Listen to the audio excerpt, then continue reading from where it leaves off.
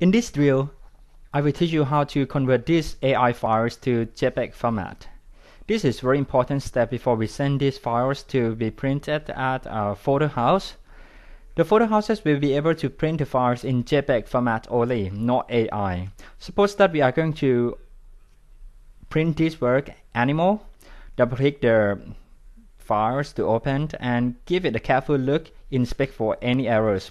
Everything seems to be alright with my name and ID and the name of this piece. This worm also appears in the right position. Generally, we can make a quick convert by going to File and Export. Then select its format as JPEG and it will be animal.jpg. Other options are also provided, but for now just set this file as JPEG. We then save it in our preferred location. A window will pop up and can further adjust characteristics of a new JPEG file. We can set it at 10, 8 or 5. The color mode should be RGB mode. The resolution 300 dpi. Click OK to confirm your action.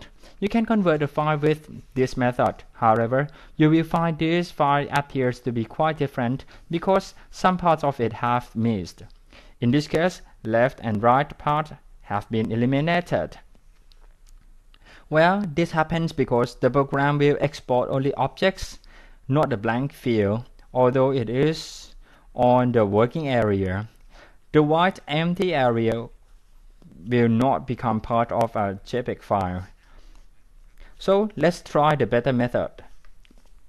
Close this file and just ignore it we will overwrite this file later. Now check every details of the original and close it.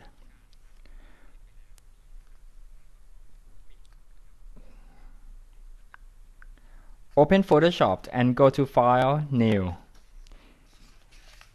And you have to, uh, sorry, you name, you have to name the new file in the same manner of the original. Here I name this with my ID and underscore animal. We then set the preset at photo portrait 4 times 6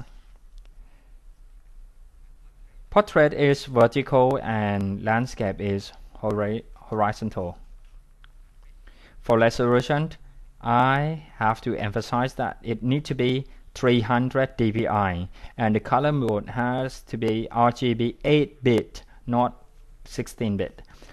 Set the background content as white. For the advanced setting well these are all correct so you have to click OK to confirm your setting. Next you have to click file and place and select the file to be placed into this field. Select your animal.ai file and then click place and the OK button for the query window. As you can see, it is too big for the given space because we need to leave some space for the rim of the paper. Just drag one of the corner in. Remember to hold the shift and alternate key. Make sure it is the right size and position. And when you are happy with it, double click to place the object. Make sure that you double click only after you really get the object to the right size and position. The object will appear distorted if you try to adjust it later. When you are done, go to File and Save As and choose the format as JPEG. To override the former file, you will simply save this new file with the same name to the one we created earlier. A dialog box will pop up and ask whether you want to replace it or not. Just agree with it. Replace set the quality as maximum and click OK. And yes we have successfully we have successfully converted a file that ready to be printed